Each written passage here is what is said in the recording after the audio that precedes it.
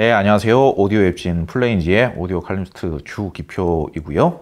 어, 오늘은 PrimaLuna 제품에 대한 비교 청음을 해보면서 평가를 해보기 위해서 PrimaLuna 제품을 어, 모든 기종을 다 리뷰를 하셨던 오디오 평론가 김편님을 모시고 이야기를 나눠보도록 하겠습니다. 아, 인사 부탁드립니다. 예, 반갑습니다. 오, 예, 오디오 칼럼니스트 김편입니다. 그 오늘 PrimaLuna 제품이 앰프로 봤을 때는 EVO 100, EVO 200, EVO 300, EVO 400 그리고 EVO 400 pre power 이렇게 이제 다섯 가지 제품을 저희 둘이서 청음을 해보면서 이제 평가를 할 텐데요. 제품 테스트 리뷰 다 해보셨잖아요. 그렇죠. PrimaLuna에 대해서 좀 뭐 어떻게 생각하십니까? 그러니까 PrimaLuna는 그러니까 제가 2019년 11월부터 2020년 1월까지 집에서 한 3개월 써봤거든요. 에보 400 인티 앰플을요. 네. 근데 가장 그러니까 원래 진공관 앰플을 쓰던 유저 입장에서 참으로 안전한 진공관 앰프다. 보시면은 출력관 앞에 이제 작은 LED가 있는데 네. 출력관에 무슨 문제가 이상이 생기면 불이 들어오게 돼 있어요. 그러면서 그 직전에 프로텍션 모드가 작동이 돼서 동작을 멈추는. 그런데 3개월 쓰면서 그 LED 불이 단 한 번도 안 들어왔어요. 에보 400 같은 경우는 출력관이 총 8개예요. 채널당 4개씩 8개인데도 단 하나의 진공관에도 불이 안 들어왔다. 그만큼 네. 출력 부하를 상당히 부담을 적게 줬어요. 그래갖고 진공관 보호, 그다음에 소리결까지 두 마리 토끼를 다 잡은 거의 손에 꼽을 만한 진공관 앰프 메이커가 아닌가 그렇게 생각하고 있어요. 제품 설명을 보니까 각 진공관마다 부하를 덜 주면서도 힘도 좋아요. 근데 네. 그러니까 부하를 덜 주기 때문에 진공관의 수명이 기본적으로 오래 가고요. 근데 그렇죠. 힘까지 좋아요. 네. 예. 그러니까 힘과 관련하면은 결국 소리결을 좌우하는 것은 사실 출력 트랜스잖아요. bandwidth 대역폭도 결정을 짓고 일단 전원 트랜스와 출력 트랜스가 기본적으로 잘 설계된 앰프다 그렇게 말씀드리고 싶고요.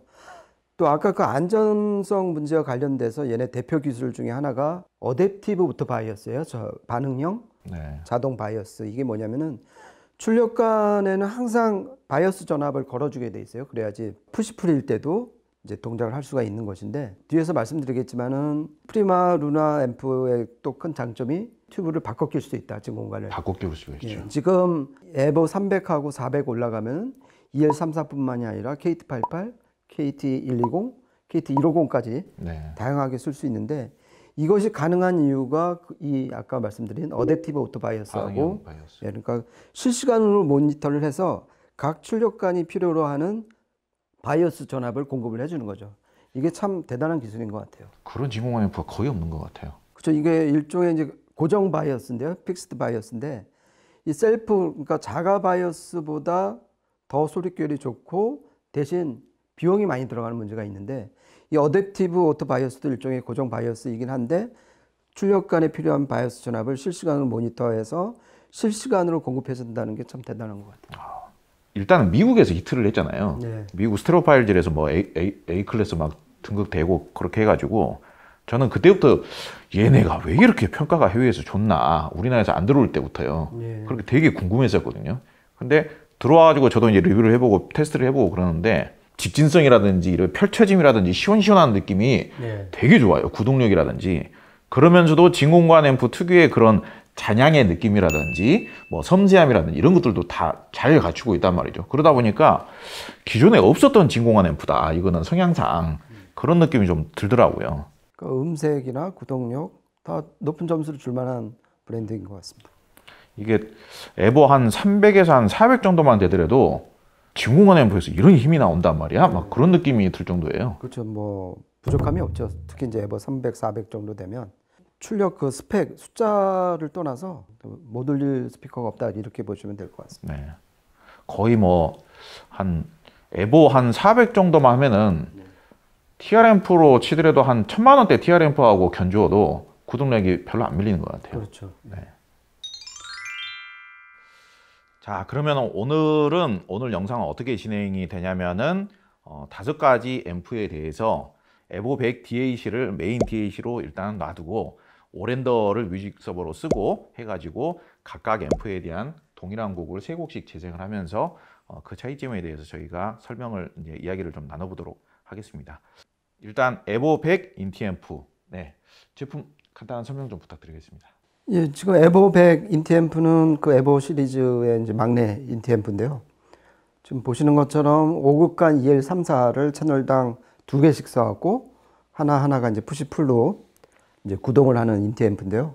EL 3, 4, 5급간뿐만 아니라 빈간인 KT88도 바꿔서 낄 수 있는 에보 100 인티앰프고요. 지금처럼 EL 3, 4를 꽂았을 경우에는 40W, 40W고 KT88로 하면은 1W 올라가요. 41W. 그러니까 여기서 어떤 그 PrimaLuna의 어떤 특징이 나오는데 보통 빔관을 쓰면은 한 60W까지 낼 수 있거든요. 원래는 확 올라가죠. 그렇죠. 이게 각 진공관마다 이제 plate 손실이 다 다르기 때문에 빔관이 그 plate 손실이 높거든요. 그만큼 추출력이 높은데 그만큼 상당히 보수적으로 안정적으로 잡았기 때문에 진공관도 그 보호하고 소리결도 충분히 삼극관 그런 느낌이 나, 나도록 뽑을 수 있다. 그렇게 이제 말씀드릴 수 있습니다. 쟤네가 EL34를 써도 소리가 되게 시원스럽게 잘 나와요. 굳이 예. KT88 아니더라도. 그렇죠. 흔히 이제 EL34를 쓰면 좀 이렇게 야들야들하고 보통 이제 가장 음악성이 높은 진공관이다 그렇게 말씀하잖아요. 근데 약간 힘은 좀 모자랐던 게 사실인데 지금 요 막내가 이제 40와트인데도 참으로 당차게 스피커를 울리는 경우를 진짜 많이 봤어요. 가격대는 200만 원대 제품인데 뭐 구체적인 이야기까지는 안 하더라도 저는 가격 대비 성능이 상당히 괜찮다 이렇게 생각이 들었는데요. 뭐 설명 이 정도 하고 네. 차음을 한번 해보도록 하시죠. 네.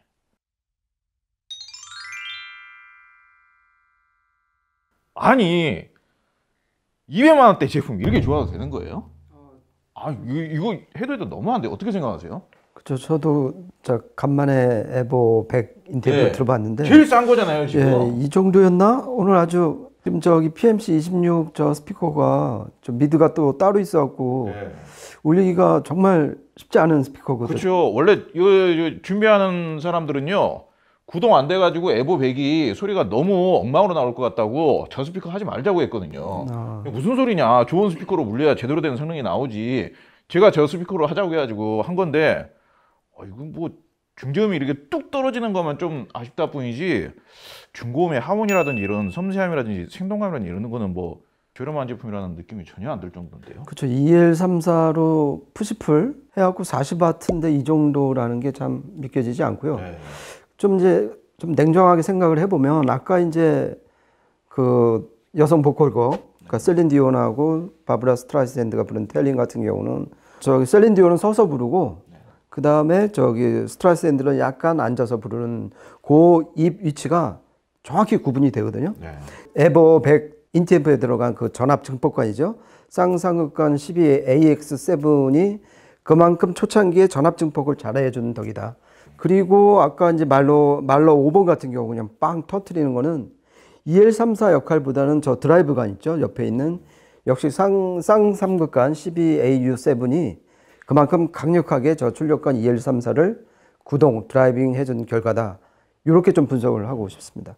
어, 제가 들어보기로는 이게 일반적인 TR 앰프들은 저 PMC 물려가지고 이 정도까지 소리에 생동감이 잘 안 나오거든요. 소리의 생동감이 너무 좋은 것 같아요. 그리고 구동이 제대로 될까? 이게 비슷한 가격대에 TR 앰프 물려가지고는 이런 생동감은 아마 안 나올 거예요. 근데 중고음역대에서는 거의 흠잡을 게 없- 없는 그런 느낌인데 그런 소리의 촉감이라든지 그런 느낌에서는 저 DAC 역할이 상당히 큰 것 같고요. 그렇죠.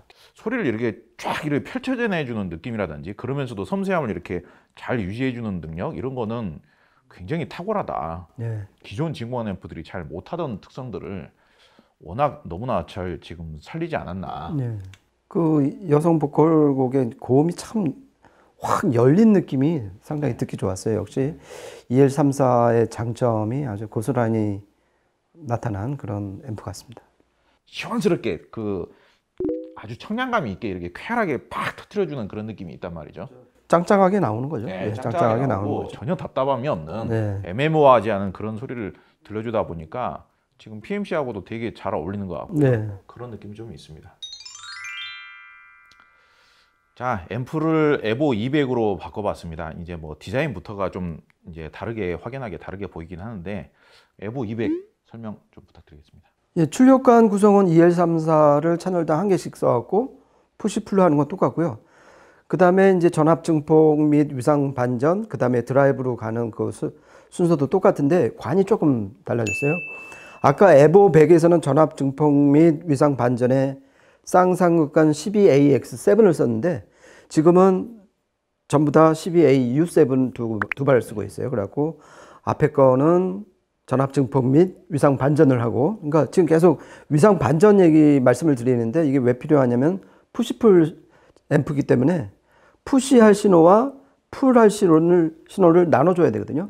그 역할을 지금 쌍삼극관 12AU7이 지금 EVO 200에서는 하고 있다. 그리고 나서 그 신호를 12AU7이 그 신호를 받아서 한 번 더 증폭을 해갖고 출력관을 driving 한다. 그렇게 보시면 될 것 같습니다. 그래갖고 지금 출력은 아까 EVO 100보다 4와트 늘어난 44와트를 보이고요. 그리고 이 EVO 200 역시 KT88로 바꿔 낄 수가 있어요. 그럴 경우에도 역시 1와트 늘어난 45와트 출력이 나온다. 그렇게 어, 하시면 될 것 같습니다. 아무래도 뭐 트랜스 같은 것도 좀 더 보완이 되었겠죠. 그렇죠. 가장 먼저 보완되는 게 이제 출력 트랜스니까. 그리고 같은 관 출력관 구성인데도 4와트가 늘어났다는 것은 그만큼 저 드라이브 관에서 좀 더 하드하게 드라이빙을 해준다. 그런 설계가 베풀어졌다. 그렇게 말씀드릴 수 있을 것 같습니다. 먼저 말씀 한번 해주시죠.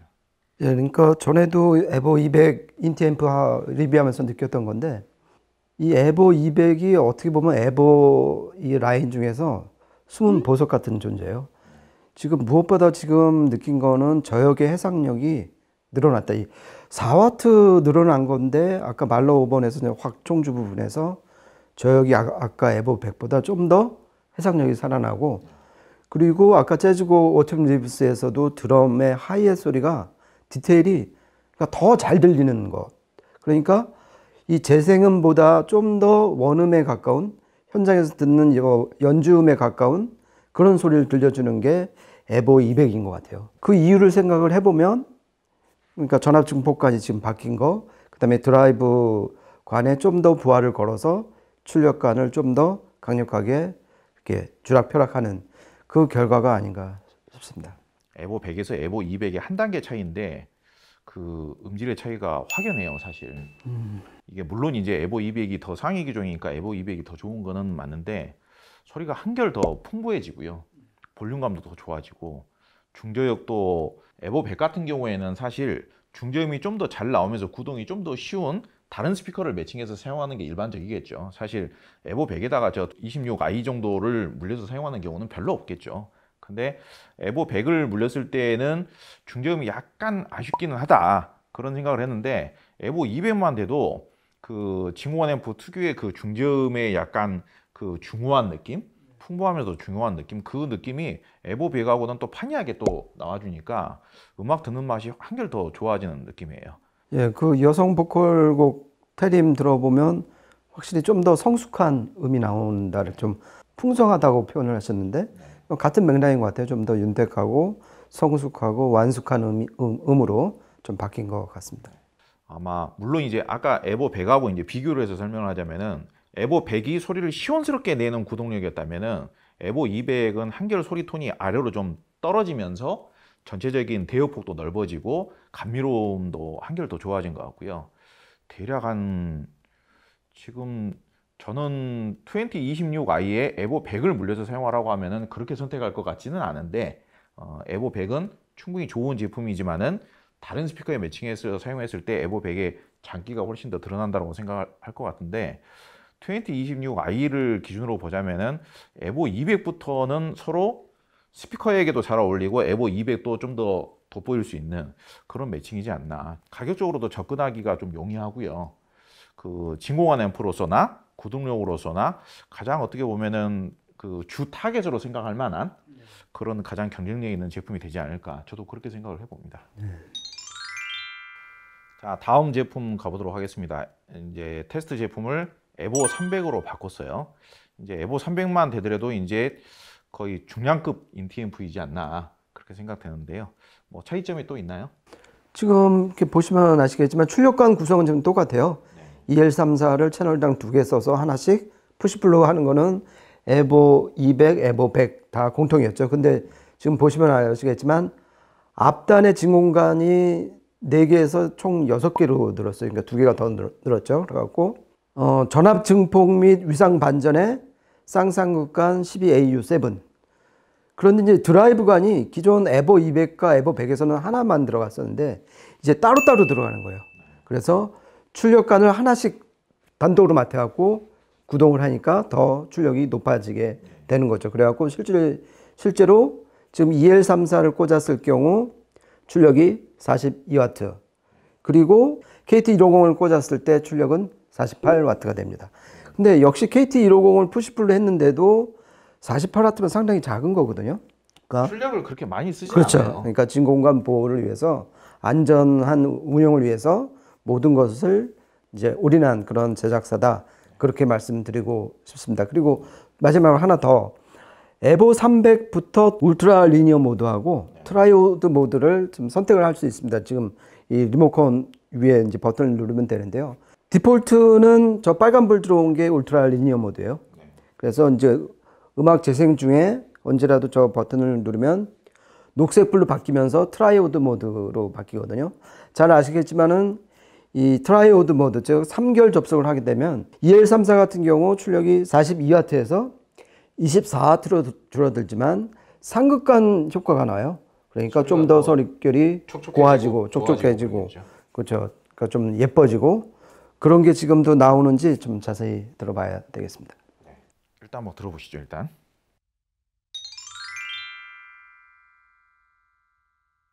확 다르네요. 예.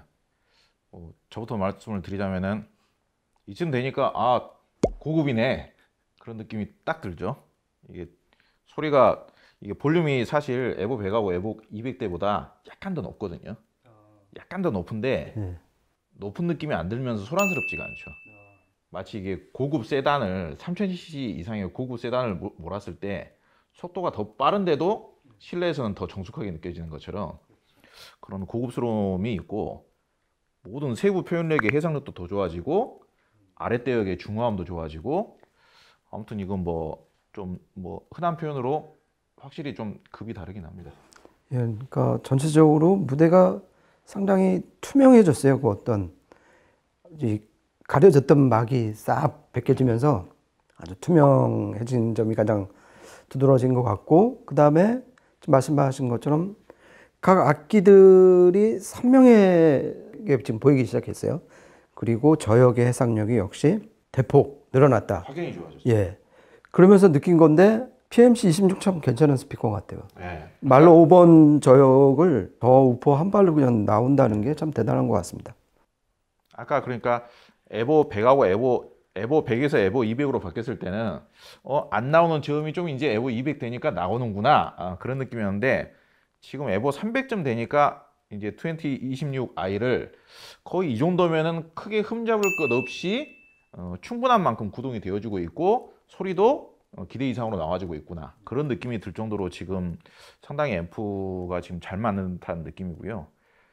아무튼 뭐 감상을 하느라고 어, 뭐 그렇게 긴 곡들은 아니었지만 감상을 하느라고 멘트를 별로 준비를 못할 정도로 만족스러워 이 정도 되니까 확 만족스러웠습니다. 이게 계산하면서 감상을 하게 되는 게 아니라 그냥 그냥 감상을 했어요. 저는 방금 그래가지고 멘트를 별로 준비는 못했는데 아무튼 그 특히 재즈를 듣든 여성 보컬을 듣든 아까 다른 하위 기종에는 없던 찰진 느낌이 또 있어요.